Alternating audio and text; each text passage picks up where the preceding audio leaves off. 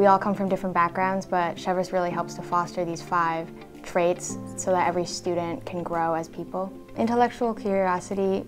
to me means that I am able to explore my passions and not feel limited by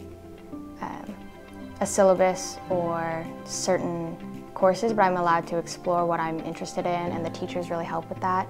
Um, they really care about what you're interested in and if there's something you want to learn more about, they're always welcome and open to discussing that with you. And they really care about you um, outside and in the community, not just in their classroom, but they want to know how you are and not just what you know